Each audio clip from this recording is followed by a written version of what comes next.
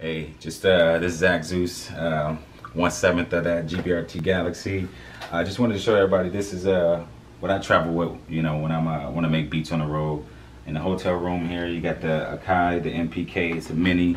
Um, I got the the audio phase, got some uh, headphones, got my laptop. It's easy to pack up. As you can see, I'm packing up right now, about to get on the road here. I got an external hard drive to go and uh, we're ready to rock and roll. So with this, we got a 25 keys, it's got your pads, pretty simple. I mean, um, a lot of you guys, if you're not familiar with it, it's just a compact keyboard and pad controller, so you can make the beats on the road. So if you got any questions, you know, stay tuned. It's gonna be more videos to come. So, Galaxy.